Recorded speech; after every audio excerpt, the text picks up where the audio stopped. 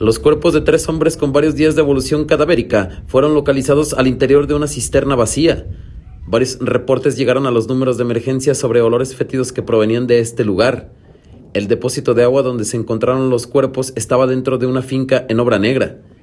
El macabro hallazgo tuvo lugar la noche de este lunes en Tlajomulco de Zúñiga, sobre una brecha de nombre El Cerrito en San Sebastián el Grande.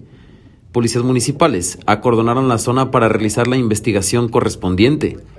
Hasta el momento, se desconocen las edades de los oxisos y no hubo testigos que pudieran proporcionar más datos a las autoridades.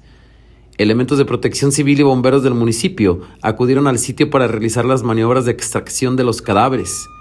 Los cuerpos fueron trasladados hasta la morgue metropolitana, donde se les realizará la autopsia que indica la ley para tratar de conocer las causas de muerte.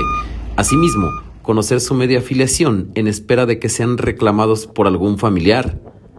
Agentes de la Fiscalía Estatal acudieron hasta este punto y se pidió mando y conducción al Ministerio Público para abrir el expediente de investigación.